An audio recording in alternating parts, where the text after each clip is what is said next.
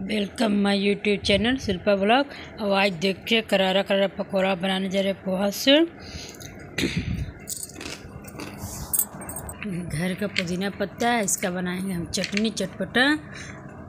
उसमें थोड़ा धनिया पत्ता मिक्स करेंगे, उसके बाद इसको पीसेंगे चटनी।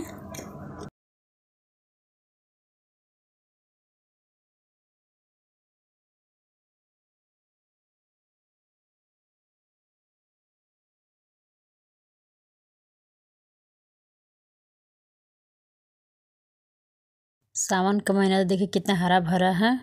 ये देखिए कितना करारा बना है। अब देखकर बताइए क्या चीज़ से बना है। ये देखिए पोहा, आज पोहा से बनाएँगे। ये देखिए, ये पाँच मिनट हो गया है। अब इसमें हम डालेंगे सारा मसाला। सबसे पहले इसमें डालेंगे हम थोड़ी सा हल्दी।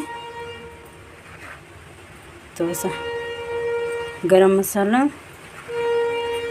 एक चम्मच काली मिर्च। थोड़ी सी लाल मिर्च, पाउडर डालेंगे। थोड़ी सी डालेंगे धनिया पाउडर। सारा इसमें डाल दिए। इसमें हम आलू उबाल कर रखे हैं। इसमें आलू मस्त करेंगे। दो आलू डालेंगे इसमें। इस तरह। इसमें एक चम्मच नमक डालेंगे स्वाद अनुसार। नमक आप अपना अंदाज से डाल सकते हैं। कम बेसी करके। अब इसको हम मस्त करेंगे।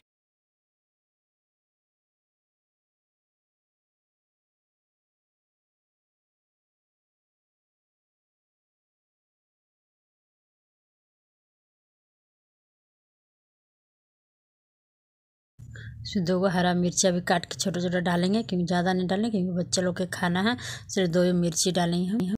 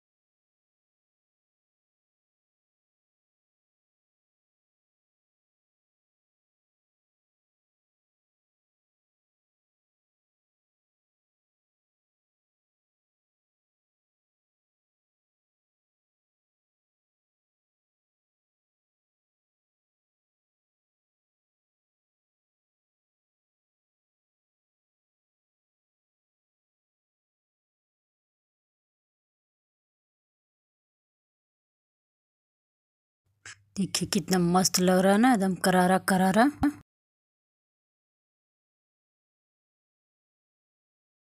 इसी तरह आप लोग भी बनाइए।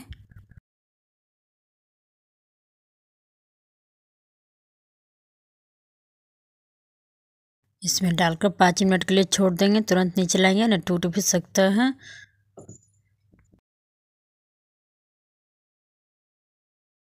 खाने से पहले उसका खूबसूरती देखनी चाहिए।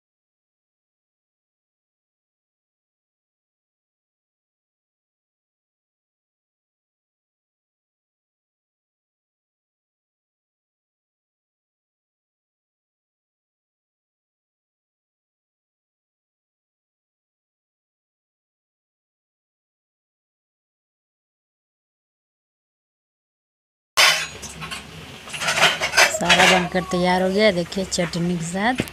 चटनी है और